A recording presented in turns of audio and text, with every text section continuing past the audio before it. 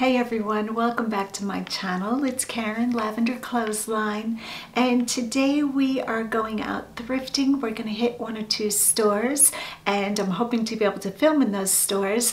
Now recently I have decided, almost decided, I'm thinking about getting a GoPro and I've been looking into that a little bit. Hopefully I'm going to be able to figure out how to mount the GoPro on me, whether that means in a hat. I don't think in a hat, not really a hat girl, but probably on my chest or maybe even an armband so that I can show you all the real stuff, all the footage. And yeah, so hopefully that'll come up soon. I'm going to be looking at GoPros, probably the Black 7 or 7 Black, uh, probably around Black Friday, I'm hoping to get a deal. So while they're not really expensive anymore, sometimes the older models are better for me because it's just, they're more reviewed, there's more help um, on YouTube about it, and I'm still trying to get used to the Canon M50. I am not a camera person. So that I have created this many videos for YouTube is crazy amazing. Some of them not such great quality, but we are pushing on. So hope everybody is doing well. Let's pack our lunches, get on the road, and and see what we can find.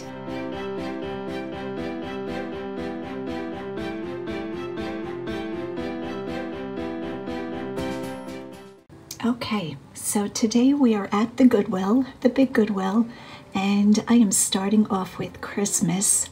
I am just getting into the mood of Christmas. It takes me a while to warm up, but once I warm up, I love looking at all of the little tchotchkes and things that come out, just so cute. Most times I gravitate towards snowmen and snowy, frosty things, and then every little sparkly thing catches my attention. I don't sell a lot of these 22 karat trimmed decor plates, but I always like to look at them. Now for me, most of the holiday things that do really well are the vintage pieces, so that's what I concentrate on, but I wind up looking at everything as usual.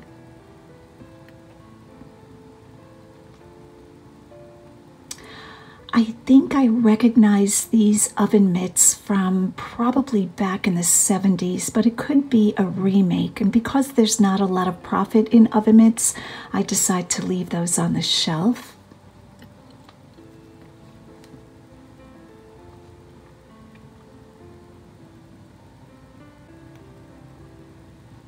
And here I spot a box that looks vintage to me. One of the ornaments is cracked, but I would like to learn more about the vintage ornaments. These were plain, so because of the broken ornament and it being quite plain, I didn't take time to look up the Holly brand.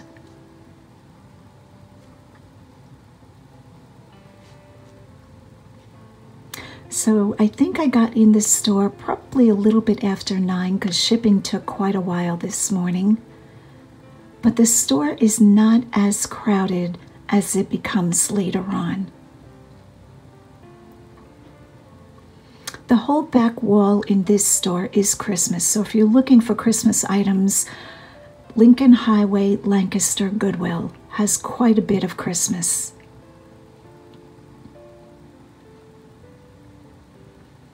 This little statue has nothing to do with Christmas. I thought she was really sweet, but they wanted $7 for her, and I felt she was just like maybe a Dollar Tree statue, so I left her behind.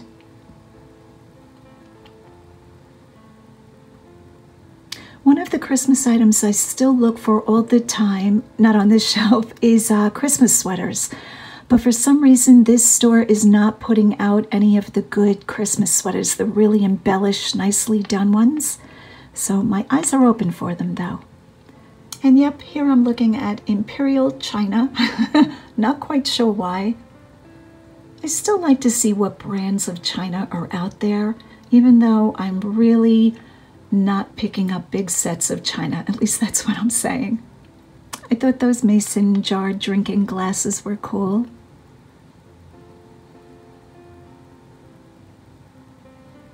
As you can tell, we are on the move today and I have turned the corner. Looks like we're on the white aisle.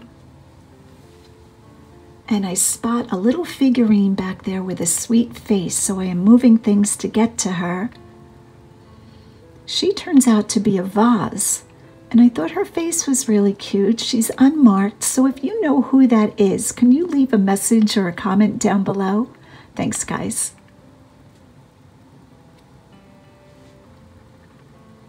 There's some Corelle bowls. I don't see that they're bringing a lot of money.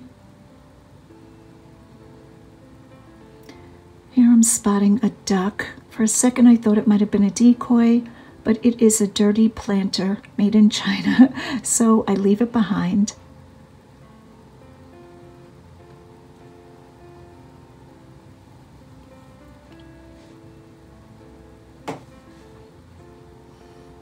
I thought this s'mores mug was really cute.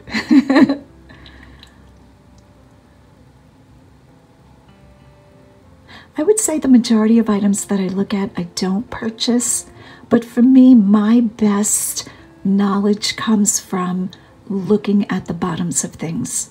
So for my eight years of selling, I'm going to say I have learned the most by turning things over. That, that's over comping things, over going to seminars, talking to other people. My knowledge comes from hands on just really looking at what's out there.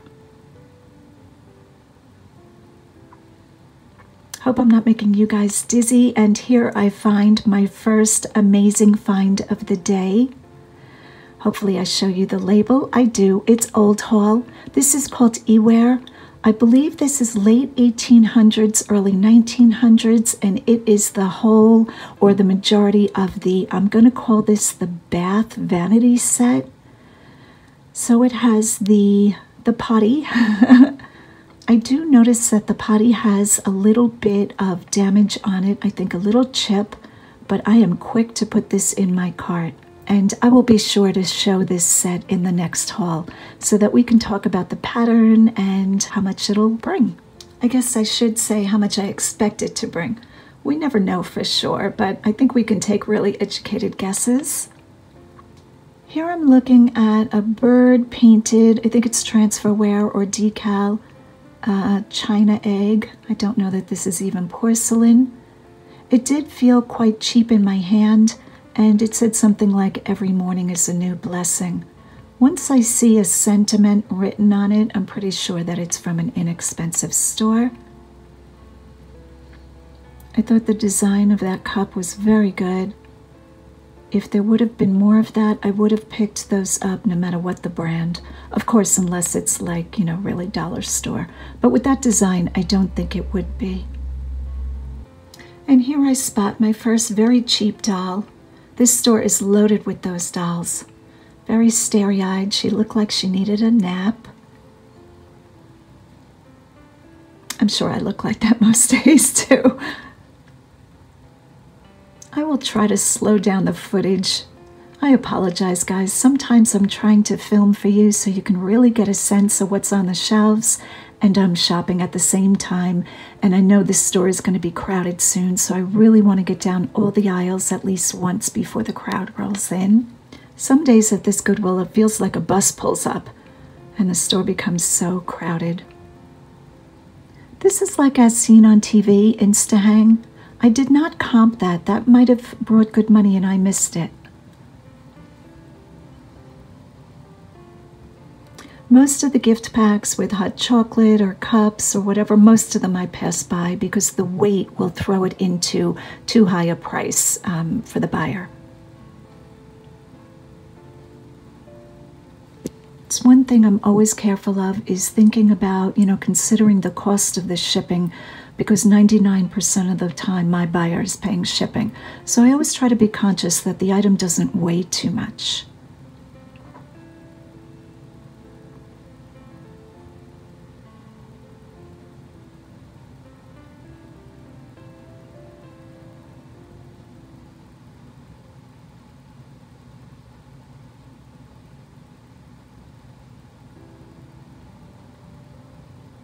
Is everybody saying it? Chickens! I don't know when I started saying that. I gotta get over it. Made in China. I like the brightly painted ones better. That chicken was a little mute and uh, yeah, I wasn't crazy about it. Here I'm finding a piece of pottery. It does have a hole in it. I think the hole is intended. I'm not sure what the use is, but you can see I put that in my cart on top of the clothing.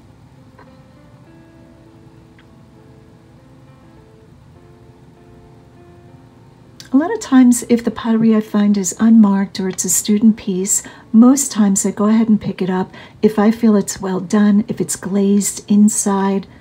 You know, if the potter, the student potter, did a good job, I will go ahead and pick it up if I can buy in at like $1.99 or somewhere around that price point. Second egg of the day. Wouldn't it be fun to have like a treasure hunt in a in a thrift store and play a game? I would love that where the thrift store makes a makes a game of it and whoever wins whatever they're saying to find you know? What are those called? Is it called a treasure hunt? I think so. Scavenger hunt. That's it. That's what i want to play. And yep that was tacos right above this box i'm finding. Okay so this box is very attractive but cheaply done. So i left that behind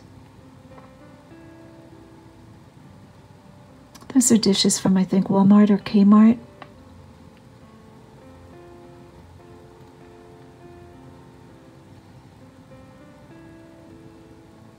Another beautiful find. I love a good tray. I think I've shared many times before. You guys are probably sick of hearing me say it. I corral all kinds of things on trays in my house. I feel like it makes it just more organized looking. So even if I have all kinds of scrappiness going on, if I put it all on a tray, it makes it look like, you know, like I'm real organized.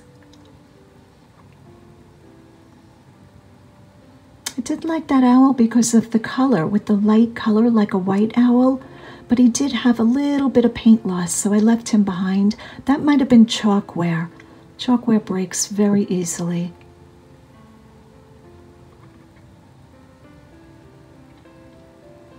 Bears versus babies. Very interesting. I thought it was a mink tissue box. With my recent sales uh, in mink, I am on the hunt. This swan dish, I'm going to call it, I think it's maybe a dish or just, I don't know, a figurine. I think these are quite popular. And I do take a look at it, but it does have a chip on it. I don't imagine that would bring very good money.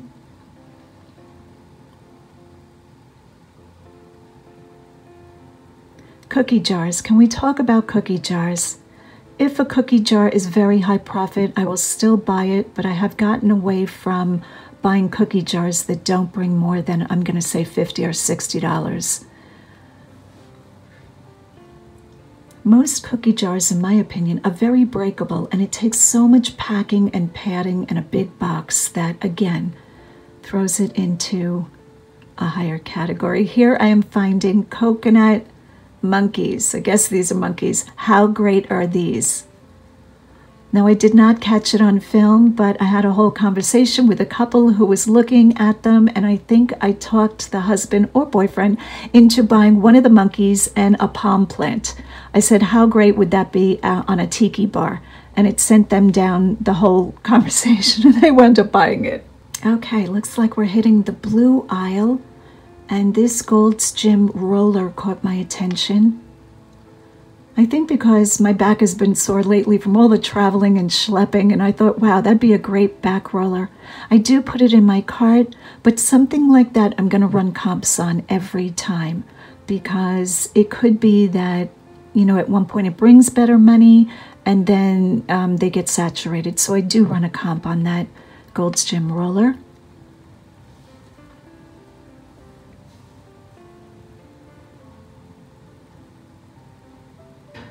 I look at those cards. Harry Potter is so popular.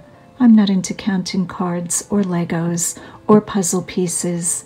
Anything with a lot of little puzzle pieces, a lot of little pieces, I should say, yeah, I've gotten over counting them, so I no longer do that.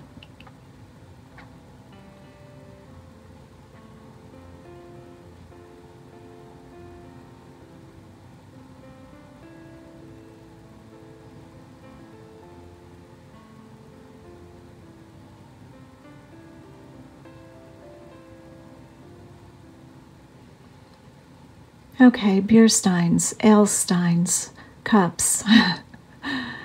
Just because it's marked Germany does not mean that it's a high profit item. So I never want to give you guys the impression that I just pick up anything from Europe, Italy, France, Germany. I do not. With beer steins, I do comp them. For me, they get extra points if they have an eagle or a wolf. But again, it doesn't mean that that's going to be a quick sell. Here I'm finding one mug. I triple love this mug. It's so good. Authentic souvenirs. that sounds high high ticket item. I do leave it behind.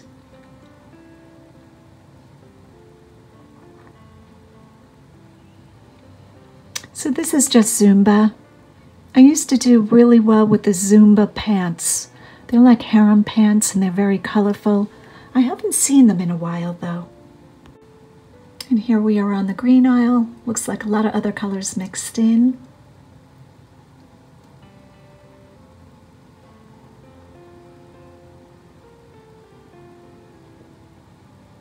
I really apologize if I'm making you guys dizzy. I think I was a little off my game today.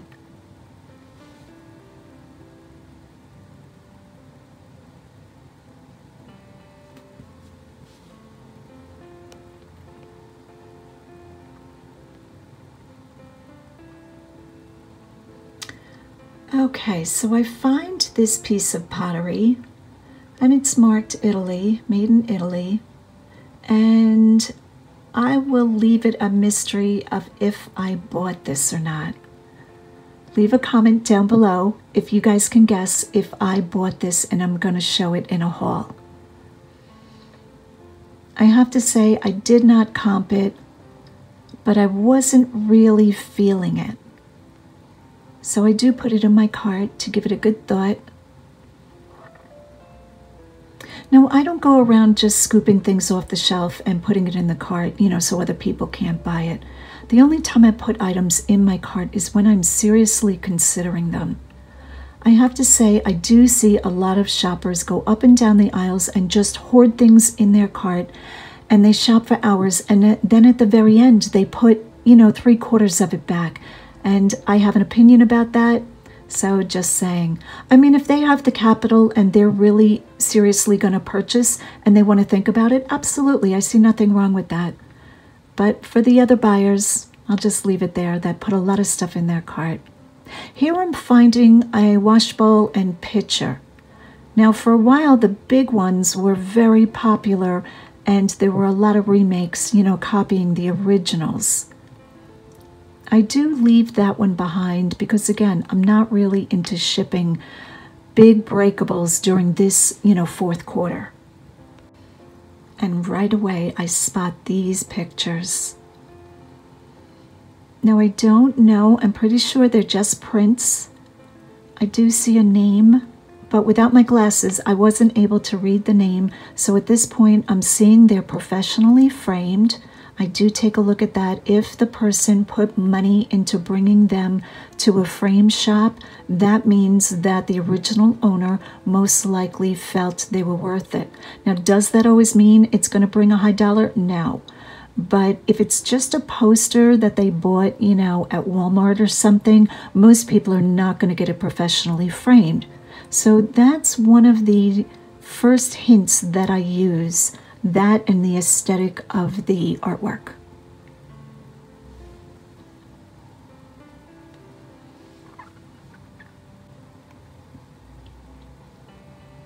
Okay, here I'm jumping over to linens. And this printed duvet or sheet caught my attention right away. The first thing I do is look at the stitching. See the stitching here, guys? How the machine went over it twice and it's very badly done. I would never pick something up like that. I think it's either handmade and they did a poor job or it is just very cheap. Okay, here we are back to hard goods. if I was ever caught on film, oh my goodness, I'm a crazy person. Okay, speed ladder. That sounds exhausting. And here I am ending with this statue. This is one of the creepiest. I don't know. Why would somebody make that? I don't know if this was mass produced. Okay, he just looks like a zombie. I don't even believe in zombies, but yeah, just figured I'd end with that. So that is the video for today. Thank you so much for watching. And as always, go out and get what's yours.